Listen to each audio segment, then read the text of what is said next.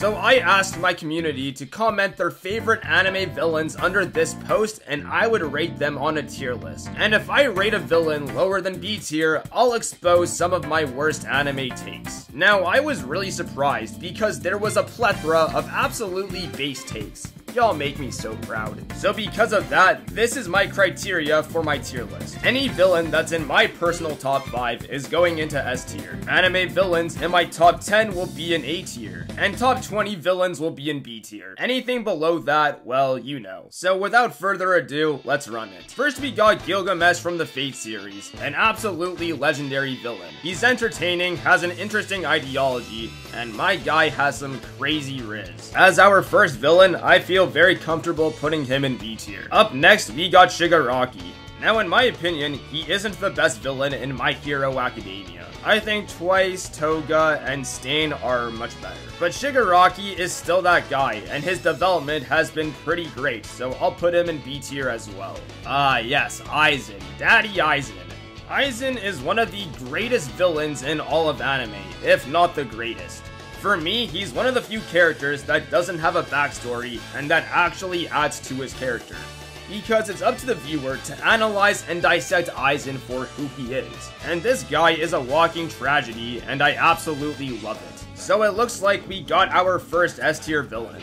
Next we got our favorite blonde vampire. No, not you, Shinobu. It was I, Dio! Oh, how I love Dio. What's great about Dio is that he's the true protagonist of JoJo's. He's in pretty much every part. Or he's impacted that part in some sort of way. Now, my favorite Dio is Diego Brando from Part 7, who coincidentally has one of my favorite stands in JoJo's. He's definitely a top tier villain, well deserving of A tier. Next up, we got Ulquiorra. And coincidentally, he's my favorite antagonist, villain, whatever you want to call it, in all of anime. Every bit of his character writing is perfection. It was something I truly resonated with. His misconceptions of what is a heart, his struggle with his ironic inner humanity, and his dichotomy with Ichigo, which just pushes it to the next level. In my opinion, Ulquiorra is a level above Aizen, and he has one of the best character conclusions that I've ever seen in fiction. So he's not just going into S tier, he's going to the top of S tier. That's what I've been waiting for. Donquixote Doflamingo. Wow, what a fantastic villain. He's one character with absolutely amazing build-up. How he's positioned to Luffy as an ideological and thematic counter is brilliant.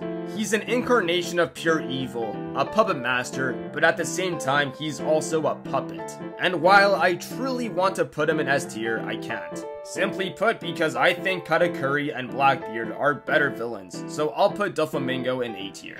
Zabuza from OG Naruto.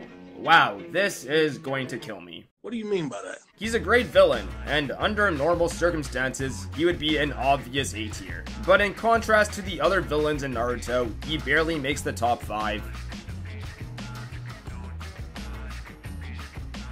So I guess this is my first anime hot take.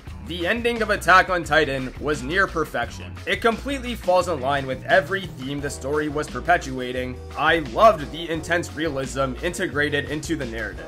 And once the last season of the anime wraps up, I'll make a video explaining why. Next we got Askeladd from Vinland Saga. An S tier villain, but per this video, I'm putting him in A tier. He exemplifies the path that Thorfinn would have walked if he stood by his rage and hatred. Simply put, he was with the Viking lifestyle. He lived and died by his will and saw honor in Valhalla.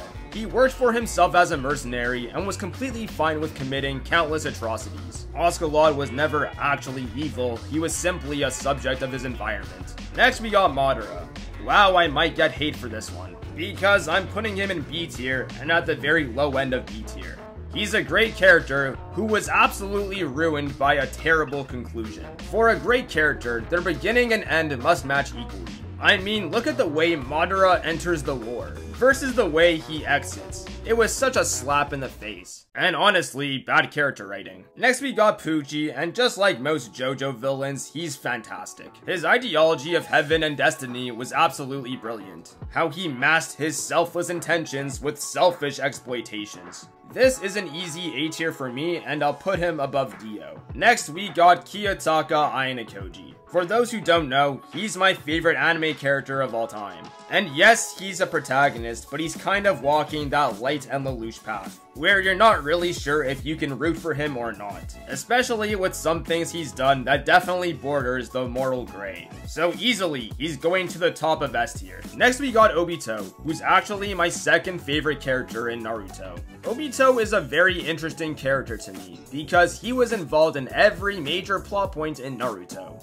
He's the embodiment of emptiness and nihilism, a literal ghost of his former self that can pass through anything and anyone. And he's a fantastic character foil to both Naruto and Kakashi, so I'm putting him at the top of A tier. The classic Team Rocket trio. This is the most base take I've seen all day. It's so legendary, it belongs in its own category, and I'm calling it W tier. Arlong from One Piece. Interesting, because he's quite a good villain.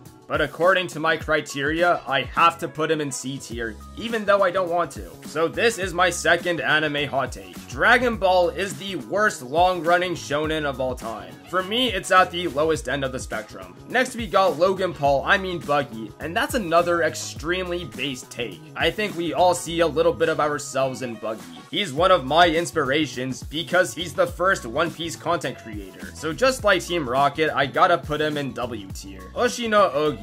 Wow, what an interesting take. For those who don't know, she's one of the main antagonists in the Monogatari series, which is coincidentally one of my favorite anime of all time. Now, talking about her actual identity reveal is a massive spoiler, so I won't get into it. But she's definitely an S tier antagonist. Next we got Gin from Bleach. You know, he's a cool character, but in contrast to every other villain, he's definitely one of my least favorites. So, I have to put him in C tier.